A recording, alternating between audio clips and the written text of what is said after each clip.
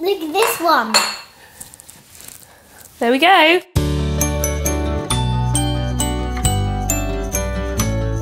Hi everybody, I'm Sarah and this is Harriet and George and today we are going to make our lunch which is hummus and tomato wraps. So these are just normal shop bought wraps, you could use whatever flavour you fancy. What's this?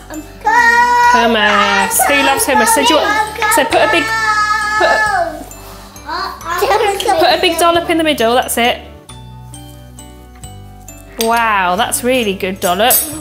That's it. If you try and spread it in like a line, then when we roll it up, you'll get some in every bite. Lovely, good job. And then we're going to add, what's this? Mutton. Yeah, so do you want, oh, don't lick the knife.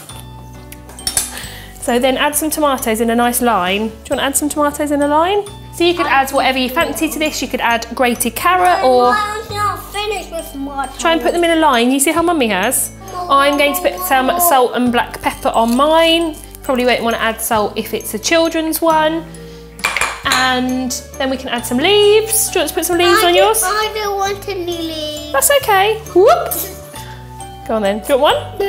Yeah. Okay. You like lettuce, George? It's just lettuce. I want. Mumsy, we wrapped them. Oh, one step ahead.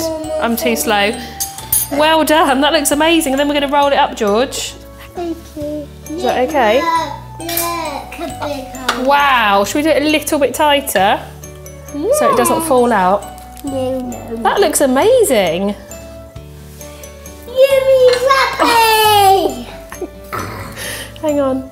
There we go. Don't you squish them in at the end? So these are great for packed lunches or picnics. and they are definitely a big hit here.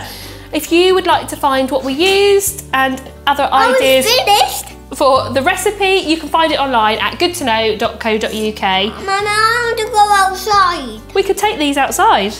Ah, thank you, Mommy. Thank you for watching. And Bye. can I play? Say. Bye!